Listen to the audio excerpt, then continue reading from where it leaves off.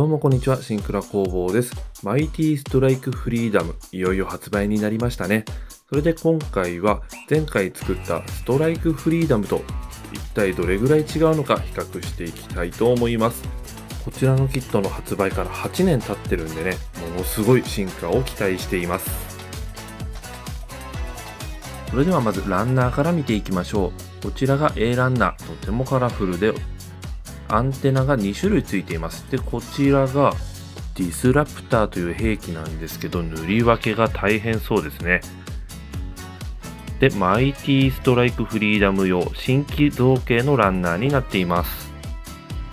そして B ランナーが2種類。こちらもマイティストライクフリーダム用と新規造形になっています。だいぶね、ディテールが細かくなっていて、かっこよくなってるイメージがあります。そして C ランナーが金ピカですね。いい感じのピカピカ具合。こちらも完全新規ランナーになっています。そしてこちらが E ランナーになるんですけどこちらは腰につけるレールガンがついています。で以前のレールガンは左右で挟み込むモナカ方式で合わせ目が出ていたんですけどこちらは合わせ目が出ない構造になっているみたいです。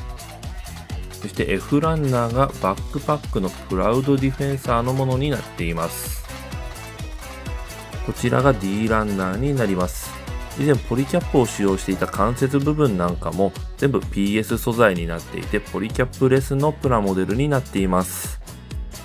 こちらが G ランナー。刀の先端と H ランナーはシールドエフェクト。この刀真っ黒でテカテカしててかっこいいですね。体感と普通の御霊というらしいです。塗装しようか悩むぐらいツヤツヤしてますね。そしてこちらのシールドエフェクトなんですけど、集光樹脂使われてるんですかね。以前のものと比べると色合いが違いますね。形は結構似てるんですが、なんか色がついてる分ビームっぽくていい感じになってますね。光の当て方を変えてみるとテカテカキラキラしててすごい綺麗ですよね。そしてステッカーがこのプラスチックシールとおなじみのホイールシールが付属されています。HGCE のストライクフリーダムのステッカーと比べるとちょっと量が増えてる感じがしますね。そして相変わらずビームライフルのところの青い部分と赤い部分はシールで補うようです。ここの塗り分けがいつも面倒なんですよね。そしてこちらがビームサーベル用のエフェクトパーツになっています。そしてこちらが説明書なんですけどホチキス止めされていてライジングフリーダム同様 MG のような説明書になっています。HGCE のストライクフリーダムの方はこういう感じで横にバッと開くタイプだったんですけどホチキス止めされてるタイプの方が作るとき見やすくていいんですよね。すごく助かります。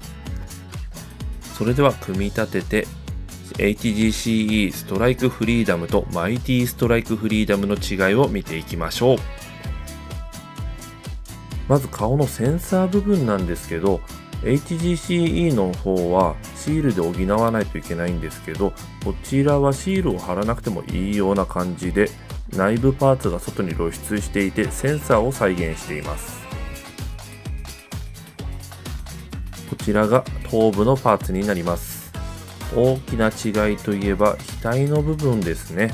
ディスラプターがついてる分ちょっと溝があって開くんじゃないかなという構造になっています。真ん中のところにうっすら線が入っています。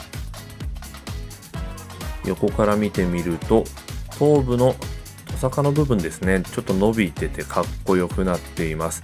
あと横のところのダクトみたいなとこも小さくなっている感じですかね。後ろ側はダクトが大きくなってセンサー部分がちょっと小さくなっています。顔もイケメンになってますね。でこちらが胴体部分。胸の飛ばし取りというビーム兵器の位置がだいぶ上の方に来ています。上から見るとちょっと伸びたような感じがしますね。でこの部分も少しシャープになっています。正面のバランスがすごく良くなってる印象を受けますね。そして横から見てみると腕の取り付けがポリキャップからボールジョイントに変更されています。でこちらがねすごい可動域が広くて上下前後すごい自由に動かすことができます。後ろ側も若干この辺りが形状変わってますね。首の可動域腰もものすごくぐねぐねよく動きます。まあでもこの辺もね旧タイプでもすごいよく動いていたんですが今回さらにその可動域を超えていたんでびっくりします。続いて腕の部品なんですけど全体的にディテールが増えてかっこよくなっています。特に合わせ目なんですけど段落ちモールド化されてて合わせ目がほとんどわからないです。以前の HGCE の方だとくっきりここに合わせ目が出ちゃうんですけど今回のは全然目立たなくなっています。技術の進歩ってすごいですね。さらに組み立ててるところを取らなかったんで分かりにくいんですけどパーツの分割がすごく細かくできるんで塗り分けも結構簡単にできそうです。ただ肩のスラスターの部分がちょっと取り付けに違和感あるというか隙間が空いてるように見えてしまいますね。こちらは以前のものの方が僕としては好きです。続いて腰のパーツになります。前掛けの部分もねディテールがすごく細かくなっていてつぐみでもかっこいいですね。そして下の方についているネイビーの部分も大型化されていてこれもかっこよくなっています。そしてリアスカートの方になるんですけどこちらはストライクフリーダムの方がかっこいいかもしれません。マイティの方はどちらかというとフリーダム寄りの構造になっているみたいです。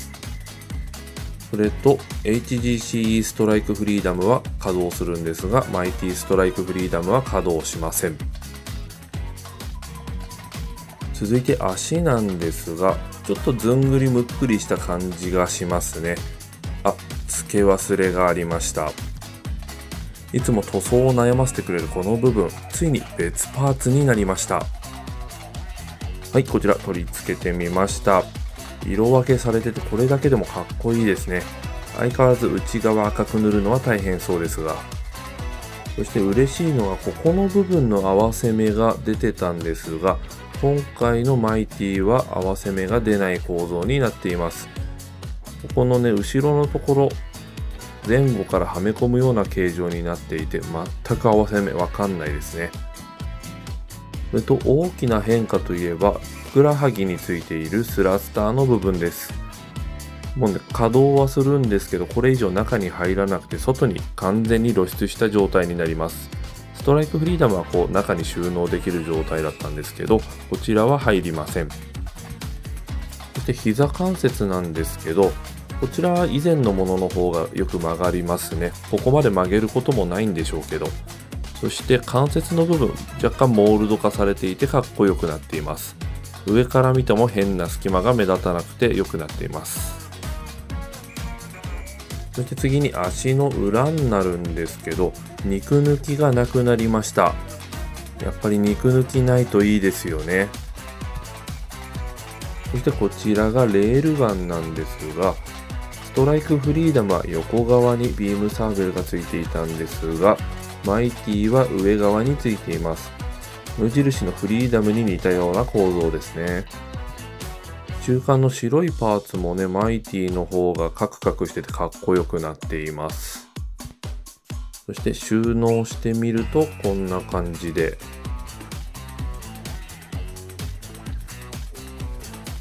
マイティの方が若干スリムな感じがします。あと冒頭でもお伝えしたんですが、やっぱりこの合わせ目ですね。真ん中に1本スーッと入ってしまっているんですが、こちらは出ない構造です。固定方法も腰でピン止めだったのが、ボールジョイントに変更されています。そしてビームライフルになるんですが、こちらはあまり形状が変わりませんね。マイティの方が若干白い部分短くなっています。相変わらずマスキング地獄の予感がしますね。そして腰に収納するところの突起の部分が縦だったのが横向きに変更になっています。それでは実際に装着してみましょう。ストライクフリーダムはレールガンを背中側に移動させた後にそこにビームライフルを固定するような構造でした。このようにねここで収まるんですが。マイティストライクフリーダムはレールガンの取り付けがボールジョイントになっているので後ろには回りません。なのでこのまんまここに固定します。そうするとね腕が内側は閉じないんですよね。ただね腰にビームが2つ並んでついてるのはこれはこれでかっこいいんじゃないかなと思います。常にこの状態腕が最後まで閉じない。これはいかがなものかと思います。まあ、僕でも結構ゴツゴツしたの好きなんで、こっちの方がかっこいいのかな。一振りだとちょっとスリムになるし、あと強度に問題があったんですけど、これだったら軸がねじ切れるとかそういうのもなさそうなので、ここもいい感じに改良されたんじゃないかなと思います。次にバックパックになります。こちらがストライクフリーダムのものになります。やっぱり展開させると大きくなってかっこいいですよね。はいこんな感じです。やっててふと思ったんですけどこんな大きさの雲いたらちょっと引きますよね。そしてこちらがプラウドディフェンサーになっています。あちょっとねはめ込むと取れなそうだったんでちょっと軽くはめ込んどいたんですけどやっぱ外れちゃいますね。しっかり奥まではめ込めばこんなことはないんですが、そして内側も金のパーツが結構露出しててかっこいいですね。では羽を展開させてみましょう。僕ね、実は映画まだ見てないんでね、どんな感じに羽広がってるかわかんないんですよね。多分こんな感じで、ここも広がるんで広げて、こんな感じでいいんでしょうかね。この辺まで広げた方がかっこいいのかなあ、これしっくりきますね。反対側も合わせてみて。あー、なるほど。パッケージもこんな感じだった気がします。かっこよくなりました。そしてね、これ取り付け方がちょっと特殊で、実際もうバックパックついてる状態でこちらの上からスライドさせてはめ込むような形になります。でこれで完成です。正面から見てみるとかっこいいですね。腕の広がってる感じがちょっとどうかなとは思うんですがすごくかっこいいです。それではストライクフリーダムのバックパックも元の持ち主に戻してぐるぐる回して完成品見ていきましょう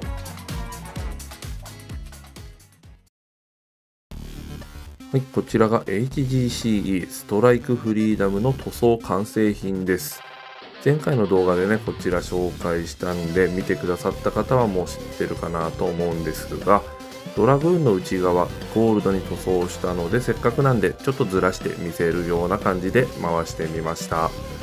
かっこいいですね。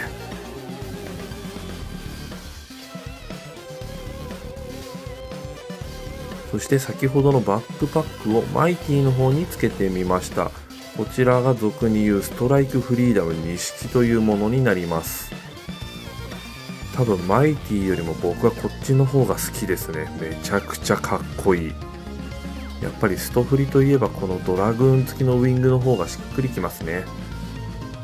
皆さんはどちらが好きですか？よかったらコメントで教えてください。そしてこちらがマイティストライクフリーダムです。金色の部分が多くてもすごく神々しいですね。これもテッカテカに仕上げたらすごくかっこよさそうです。そして体幹と普通の見た目これ鞘ないんですよね。そのまんまくっついてる。めちゃくちゃ怖い状態ですね。はいそれでは今回マイティストライクフリーダムと HGCE ストライクフリーダム比較してみました。皆様はどっちの方が好きでしたか？僕はね、錦にしたところが一番好きだったかなと思います。次回はこちらのマイティストライクフリーダムを全塗装していきたいと思いますので、そちらの動画もぜひ見てください。それではご視聴ありがとうございました。